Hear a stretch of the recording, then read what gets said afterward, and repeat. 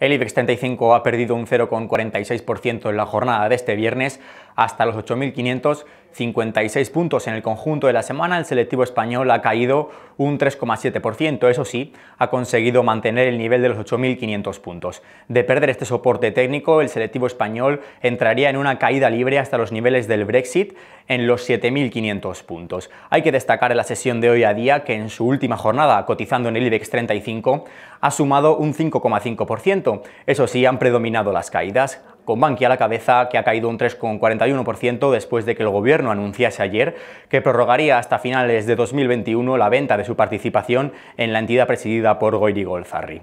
Ya en otros mercados, el barril de crudo Brent, el de referencia en Europa, cae 1% al cierre del mercado español, mientras que en el mercado de divisas el euro se cambia por un dólar con 14 centavos. Pueden seguir informados en bolsamanía.com.